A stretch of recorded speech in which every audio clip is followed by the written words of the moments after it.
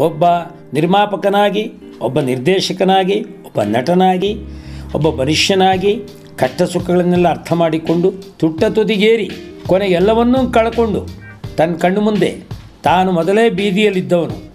ನಾಲ್ಕು ಜನರ ನಡುವೆ ಬಂದು ಕೀರ್ತಿಯನ್ನು ಗಳಿಸಿದ ಮೇಲೆ ಮನಿ ಬಂದರೂ ಕೂಡ ಶನಿ ಕಾಟ ತಪ್ಪಿಸ್ಕೊಳ್ಳದಲೇ ಹೋದಂಥ ಒಬ್ಬ ವ್ಯಕ್ತಿ ಅದ್ವಿತೀಯನಾಗಿ ಮೆರೆದಂಥವನು ಆ ಮಹಾನುಭಾವನನ್ನು ಸ್ಮರಿಸಿಕೊಳ್ಳುವ ದಿನ.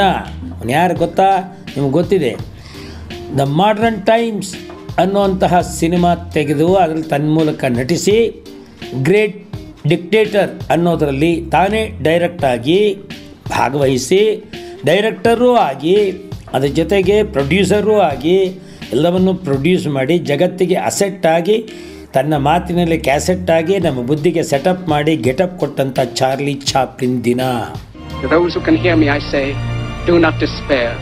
The misery that is now upon us is but the passing of greed, the bitterness of men who fear the way of human progress. The hate of men will pass, and dictators die. And the power they took from the people will return to the people. And so long as men die, liberty will never perish.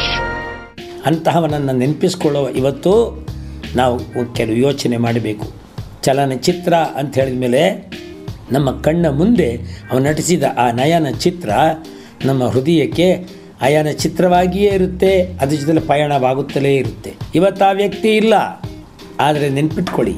ಆ ವ್ಯಕ್ತಿಯ ನಟನೆಯ ಕೌಶಲ್ಯ ಮತ್ತು ಅದರ ಜೊತೆಗೆ ನೆನಪಿಸ್ಕೊಂಡರೆ ಆತನ ಜೀವನದ ಮಜಲು ಎರಡೂ ನಮ್ಮನ್ನು ಎಚ್ಚರಗೊಳಿಸುತ್ತೆ.